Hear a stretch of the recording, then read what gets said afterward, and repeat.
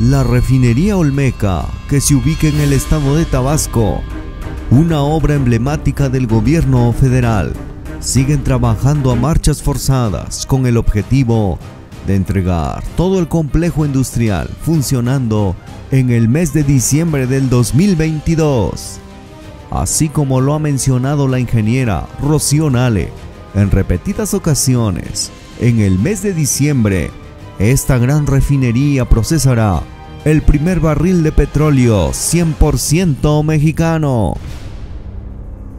En coordinación con ingenieros de Pemex y el Instituto Mexicano del Petróleo, avanzan en las largas jornadas de revisión en el avance de integración con todas las empresas que tienen los paquetes de construcción en la refinería Olmeca en dos bocas.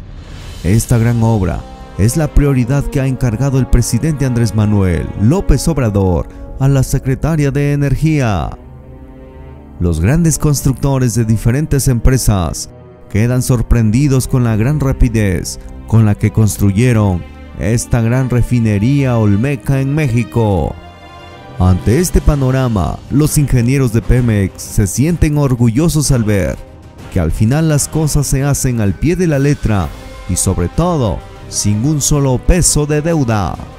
Y solamente faltan 60 días para que este gran complejo industrial encienda los motores para iniciar con el proceso de petróleo mexicano.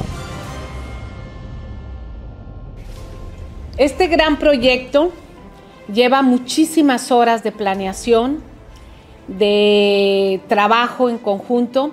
Hoy estamos en la revisión con todos los contratistas con las principales empresas que están a cargo de las plantas y que estamos revisando la integración. Vamos avanzados, estamos todos concentrados en el tema de tuberías, en el tema eléctrico, porque son miles y miles de kilómetros. Tenemos a las mejores empresas que han estado haciendo un gran trabajo y por supuesto coordinados con los ingenieros de Pemex y los ingenieros del IMP. Vamos a pasarles el reporte con imágenes de todo lo que se ve en el trabajo de integración en esta semana en la refinería Olmeca.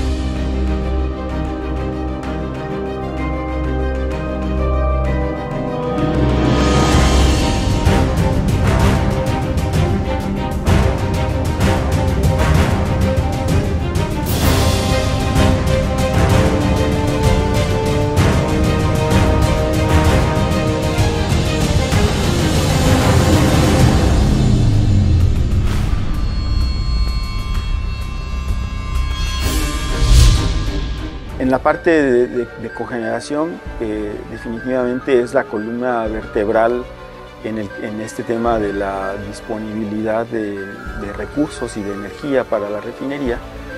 Eh, se, plantea de inicio ¿no? como una necesidad en la que debemos asegurar que la refinería sea completamente autosuficiente en términos eléctricos. Debemos de brindar la mayor confiabilidad eh, y asegurar la continuidad de las operaciones con un sistema de cogeneración que sea lo suficientemente capaz de operar no solamente en un proceso de, digamos, estable de operación, sino cuando más empieza a demandar energía eléctrica, que es durante las etapas de arranque, que es cuando los motores empiezan a operar. Tenemos eh, tres turbogeneradores más una turbina de vapor que sirve ¿no? en caso de que, alguno de estos equipos deba de entrar en mantenimiento, siempre tengamos la redundancia, la opción de poder incorporar un equipo adicional.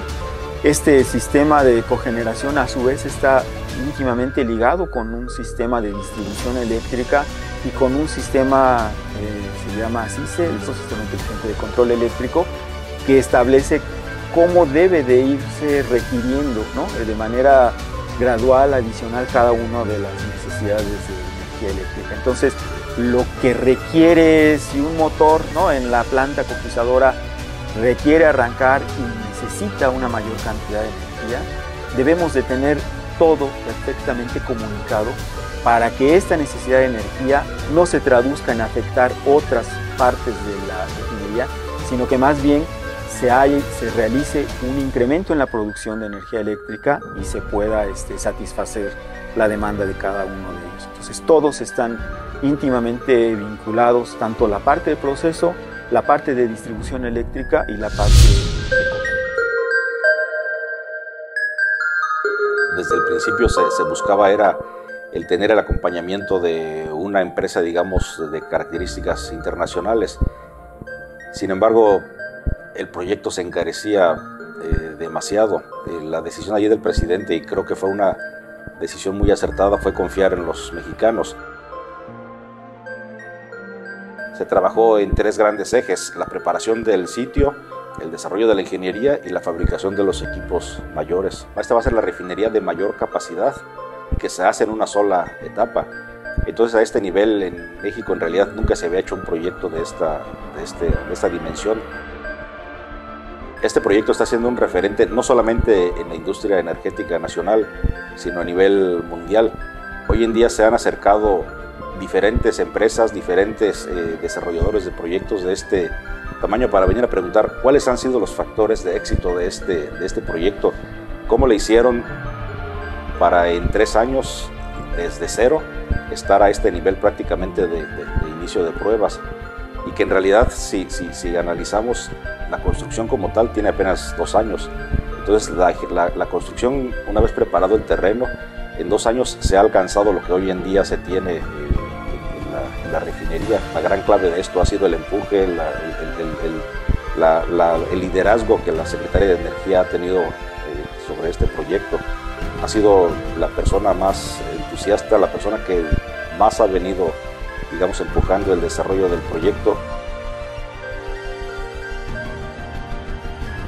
Y en México mismo creo que sirvió de, mucho soporte a la economía de mucha gente que, este, inclusive perdía sus, trabajos por todo el paro que hubo a nivel nacional.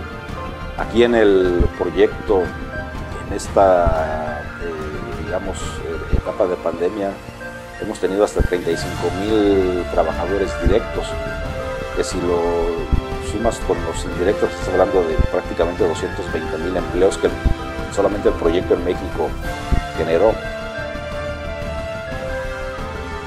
Este proyecto no se hubiera podido haber hecho sin, toda la gente, todos los técnicos, eh, la supervisión propia de Pemex la dedicación, el empeño que se ha puesto en cada uno de los aspectos del proyecto, porque tú puedes ver aquí a la gente, como mencionabas, desde las primeras horas del día hasta medianoche o más, inclusive sábados y domingos, y eso ha sido en los últimos tres años, o sea, esa dedicación, ese eh, empeño y, y esa misma motivación ha sido constante de todo el equipo.